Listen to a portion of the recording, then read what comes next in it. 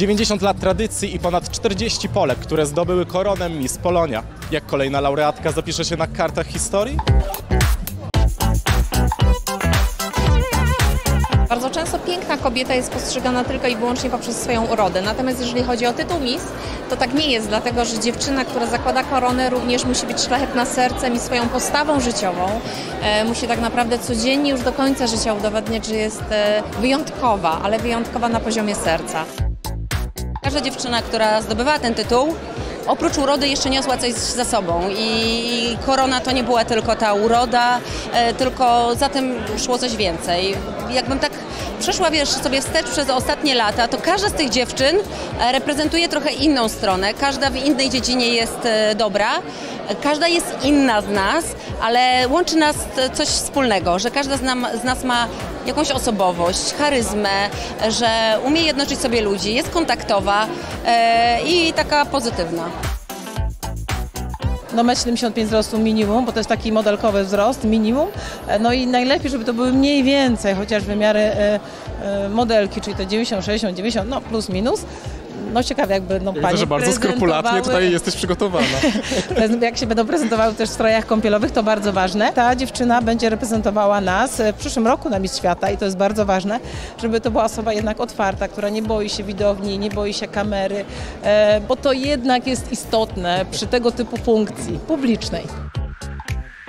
To jest ciężki orzek do zgryzienia, bo jednak e, na końcu liczy się też osobowość i jeżeli nawet uroda jest, a osobowości nie ma, no to na przykład taka Iza, która, zobaczcie, no stoi i Chodź Iza, a co?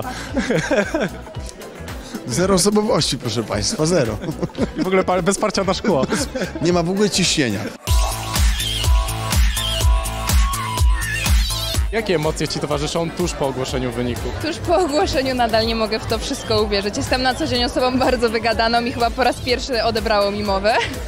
Marzyłam o tym tak naprawdę od dziecka i nie spodziewałam się, że kiedykolwiek mi się uda. Ale doszło do mnie, że warto zawsze walczyć o siebie i o swoje marzenia, bo wszystko jest w życiu możliwe. E, Tutaj dużo podczas gali mówiło się o tym, że Miss Polonia to nie tylko wygląd, to nie tylko uroda, ale też to, e, co ta Miss Polonia za sobą niesie.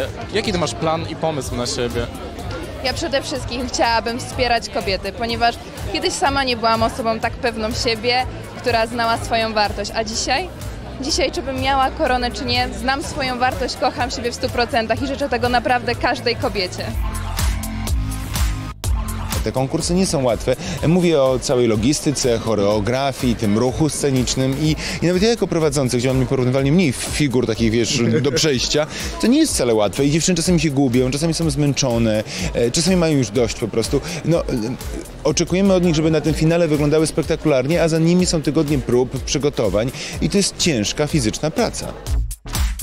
Dzisiaj byłam też na próbach, widziałam też te dziewczyny, które się bardzo stresują, e, że, że czasami zapominały e, w ogóle jak się nazywają. Na szczęście my pamiętaliśmy i na szczęście wyszło tak, że wy- wygrała przepiękna dziewczyna. Lubię to miejsce też ze względu na to, że ma fajną atmosferę i też fajni ludzie tu przyjeżdżają i można zostać e, Fajni jutro, wygrywają, jutro, prawda? e, Tak, chociażby w spa zostać chociaż jeden dzień albo pół tak naprawdę. Ale Czyli to są te kulisy, co się dzieje po gali. Tak, najpierw pójdę zjeść, z wami posiedzę jeszcze, z wami, tak.